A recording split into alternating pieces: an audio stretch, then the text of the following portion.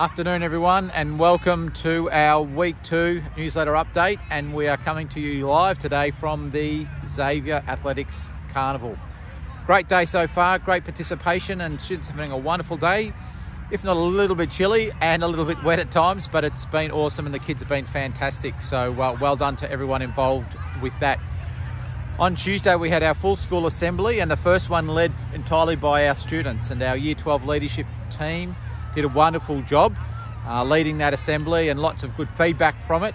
We had Ian Burton attend as well, who it was last year's Dux, and he gave his speech as well. So that was great to see Ian. So Year 10 community service kicked off this week, and we went to the three feeder schools, Holy Spirit, St. Anne's and uh, St. Pat's.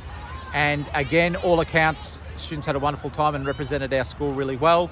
So looking forward that to being ongoing program every Thursday for our Year 10 community service students.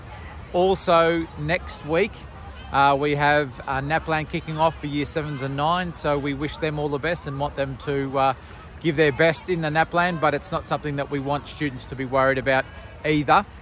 And lastly, we've got our Xavier Careers Expo uh, for years 10, 11 and 12, and that will be on next week, and that'll be a great opportunity for our students to explore lots of different opportunities.